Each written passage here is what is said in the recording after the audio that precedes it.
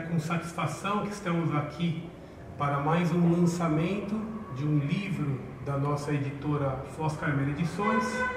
É um livro que vai tratar uma polêmica tida há quase 20 anos atrás pelo nosso saudoso professor Orlando.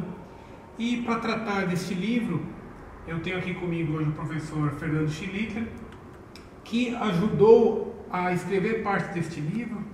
O livro chama-se Sob a Máscara, são as polêmicas tidas uh, pelo professor Orlando e o professor Fernando Schlitter contra Olavo de Carvalho. E eu trouxe aqui o professor Fernando Schlitter porque ele não apenas ajudou a escrever este livro, mas também é uma pessoa que teve na, na sua história de conversão uma certa passagem aí como um, uma espécie de aluno, vamos dizer assim, é, ainda que virtual, né, remoto do Olavo de Carvalho. Então até começo por aqui, Schlitter. Como é que você conheceu o Olavo de Carvalho? Pois é, eu nunca fui aluno dele, fui leitor. Em 2002 eu comecei a, a ler algumas coisas no, no, site dele, no antigo site dele, alguns artigos. Um, Era um artigo sobre eram artigos, temas? Então, eram artigos criticando a esquerda. Eu notava que existia no, no ambiente universitário, no ambiente da faculdade, uma, uma hegemonia do pensamento esquerdista que Sim. não era criticado. Uhum. E eu buscava assim, referências para criticar esse, essa hegemonia, para criticar é, esse, esse, problema que tem na, sociedade. E eu acabei encontrando o, o site dele, muitos textos dele. Eu também me interessava por, por por certas questões eh, religiosas, ainda um pouco de maneira mais tímida nessa época, e sobre metafísica, e eu acabei encontrando o site dele. No começo eu não, não fui um leitor fiel, eu li, fui lendo aos poucos. Lá por 2005, 2006, eu cheguei a ler eh, alguns livros dele, O Jardim das Aflições, e cheguei a ter certo respeito intelectual pela, pela obra dele, mas assim que eu me converti, em 2006, principalmente depois que eu li a encíclica de São Pio X, Pascendi Nominis Gredis, eu já constatei que o pensamento dele é totalmente incompatível com o que a Igreja Católica ensina. Tá. E esse conhecimento da Pascendi, ele se deu como? Você já era uma pessoa convertida, já era uma pessoa católica? Ou foi algo que eu Já, neste processo? Então, por volta de. Então, na medida que eu fui conhecendo o, o, o Olavo de Carvalho, pelo site dele eu tomei conhecimento do, da, da, obra, do, da polêmica com o professor Orlando Fedeli. Isso, a polêmica ocorrera em 2000 e 2001. Isso, e eu cheguei a ler muitos textos do, do, do professor Orlando Fedeli, e no começo eu não concordava, eu, acho, eu, eu tomei a posição do Olavo de Carvalho, mas na medida que eu fui me convertendo, tinha uma coisa em mente quando eu me, eu me converti, que era assim, eu quero a verdade ainda que ela me contrarie. Isso para mim era muito importante. Ótimo. Então eu não tinha medo de ler os textos do professor Orlando Fedeli. Eu não descartava aquilo como uma verdade incômoda. Então, se isso é verdade, eu quero isso. Então, na medida que eu fui lendo, eu fui perdendo o preconceito e fui notando que aquilo que o professor Orlando Fedeli estava ensinando era simplesmente o que a igreja ensina, a doutrina da igreja. Entendi. E qual foi a sua, qual era a sua percepção, você ainda, como sendo uma pessoa, de certa forma, simpática às ideias do Olavo, uma pessoa que até respeitava, como você disse, as ideias de Olavo de Carvalho, como é que foi a sua leitura sobre esta polêmica que está aqui no livro? Como você enxergava sendo uma pessoa, de certa forma, ligada ao Olavo? Pois é, eu achava no começo que o, que o professor André Fedeli não estava com a razão, que ele tinha forçado um monte de argumentos e projetado uma uma interpretação da obra do Olavo como se ele dele sendo gnóstico.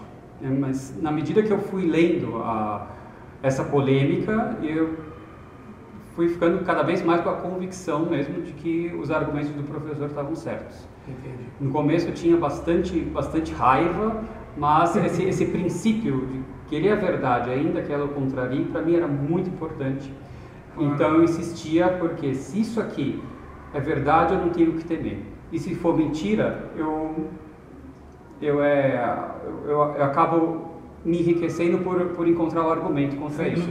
Uhum. E aí, com, partindo dessa honestidade intelectual, eu me embrenhei nessa, né, nessa leitura e eu aí eu tomei conhecimento né, pela, pelo, pelo, dos trabalhos do professor da crise modernista, uhum. do problema do modernismo e da encíclica Pacem de Nomenti Graves, que é a encíclica de São Pio X, em que são denunciados, expostos os erros da heresia modernista, e quando eu li a Pachende, aí a ficha caiu totalmente.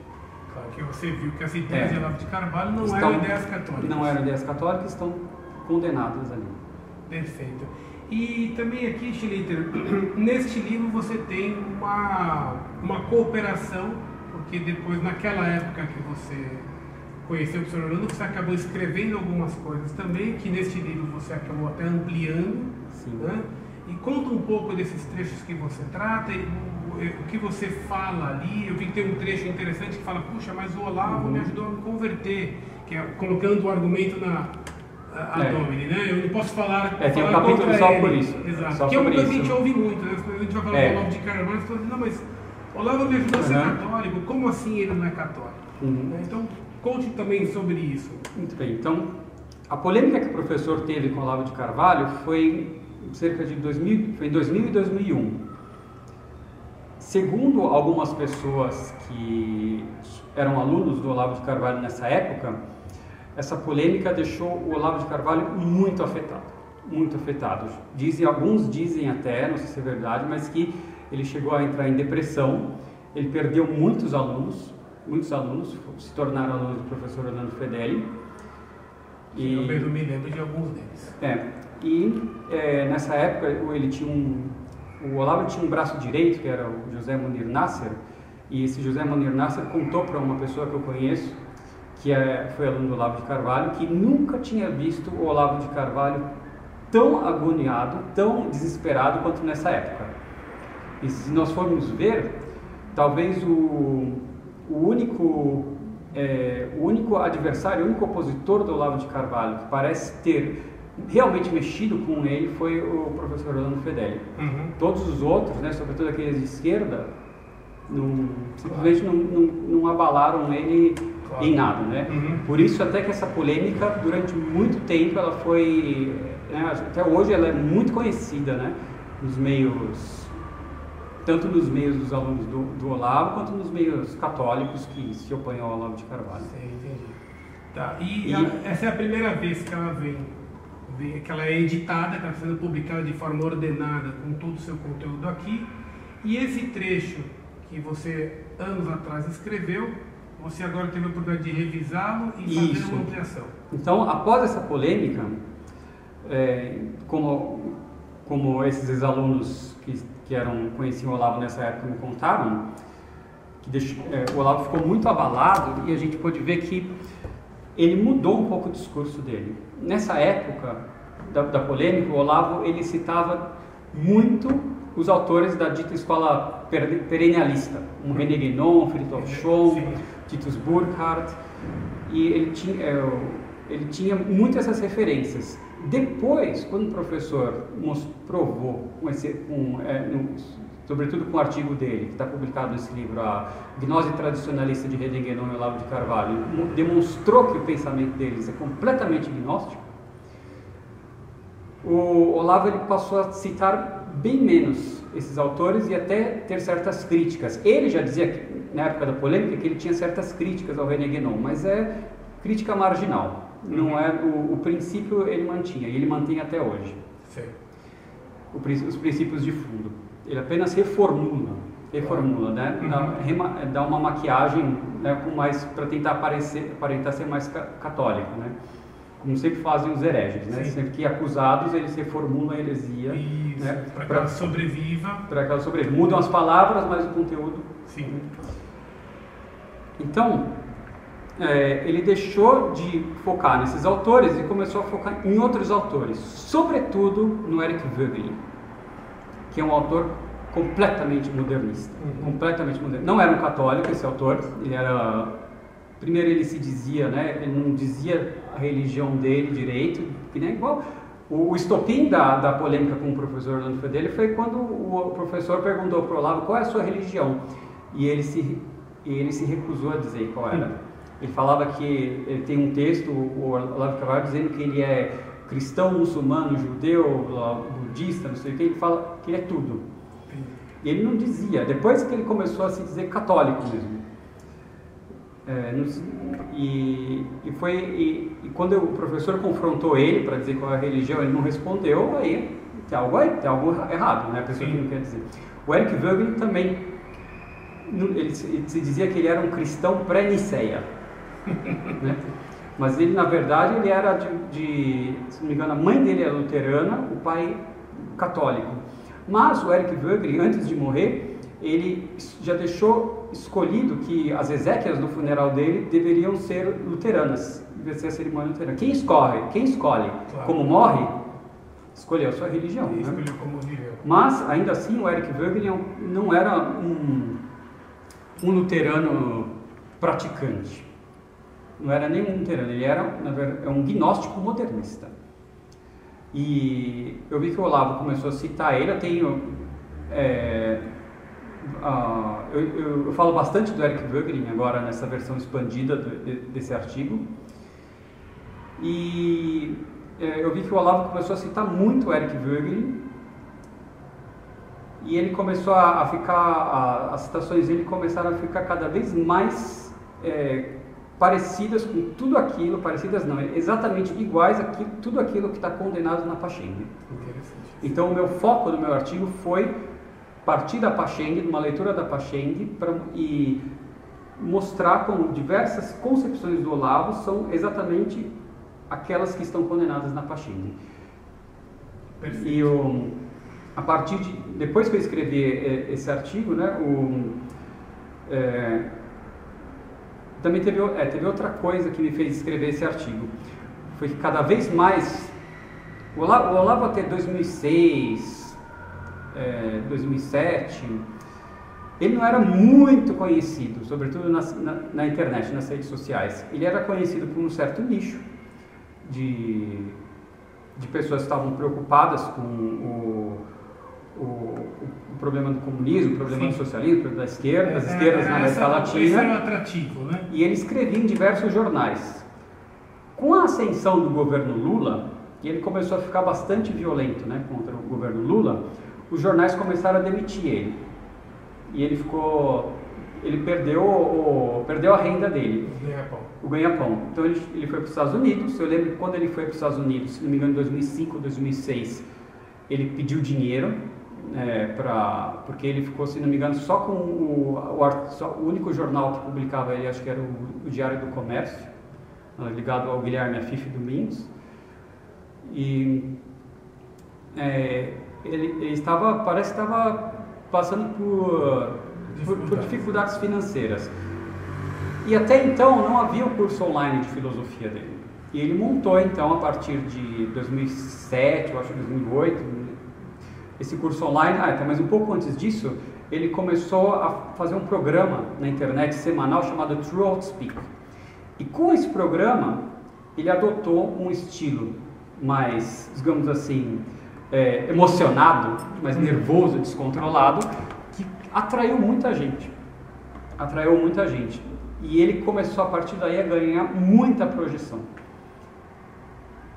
Na medida que o governo Lula e o governo Dilma foram se corroendo, ele foi ganhando cada vez mais projeção. E eu notava que já em 2008, com essa projeção dele, já surgiam nos, nos meios onde a gente faz apostolado, os meios católicos onde a gente faz apostolado, surgiam muitas pessoas dizendo que chegaram à, religião através do Olavo e que o Olavo teria se convertido Alguns até dizendo que a polêmica com o professor Orlando Fedeli fez o Olavo se converter, coisa que o Olavo de Carvalho nunca disse. Mas essas pessoas diziam isso, estavam acreditando nisso. E era muito difícil, é, como acho que muitos já sabem, muito difícil, às vezes, contra-argumentar com, com os Olavetes, né? Eles são por vezes muito muito teimosos com isso e aí eu, eu falei olha preciso escrever alguma coisa preciso mostrar isso sem dúvida né? fez muito bem que, que não que ele que as concepções que ele continua defendendo de, que, ele, que ele depois da polêmica do, com o professor continuam desalinhadas com a doutrina claro. católica e a gente observa os nossos amigos aqui que nos acompanham no canal Flos Carmelo também podem notar que esse tema é muito atual, né? que tudo aquilo que ocorreu até agora neste passado recente, após a queda da Dilma e as últimas eleições aqui no Brasil, e todo o enfoque que se tem dado e a influência que o Olavo de Carvalho tem no governo atual, no governo Bolsonaro, torna esse assunto ainda mais atual. Sim. Então acho que esse fica até como mais um, um motivo para justificar o quão oportuno é este livro e como lidar a que os nossos amigos aqui estejam no, no, congresso que faremos agora no Mosteiro de São Bento sobre educação e de ensinar, e de ensinar. esse livro é, será lançado neste evento e você também poderá comprá-lo, adquiri-lo na, no nosso site floscarmeledições.com.br, o endereço aparece aqui no rodapé e ah, os livros já estão disponíveis nós esperamos que ele faça muito bem aí aos nossos amigos e que também possa ajudar aqueles que ainda acreditam que o Olavo de Carvalho possa ter qualquer coisa de católico, qualquer coisa que contribua para de fato o combate da Igreja Católica no Brasil ou no mundo. Agradeço aqui ao professor Schlitter por ter nos vindo aqui aceitado esse convite e salve Maria a todos. Muito obrigado.